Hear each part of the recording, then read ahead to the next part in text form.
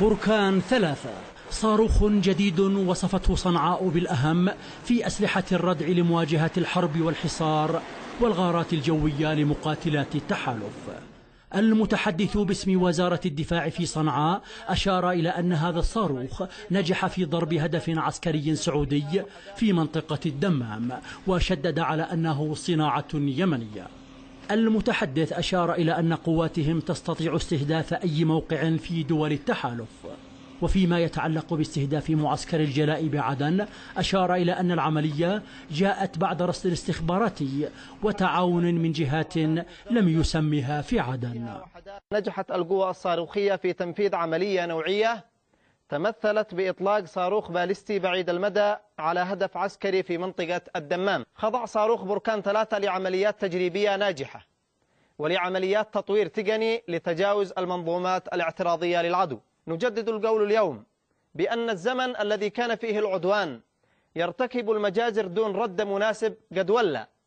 وزارة الدفاع في صنعاء أكدت أن قواتها نجحت خلال الفترة الماضية من تعزيز مواقعها في جبهات الحدود من خلال عملياتها الهجومية وأنها بعد خمس سنوات من الحرب باتت قادرة على فرض معادلات جديدة.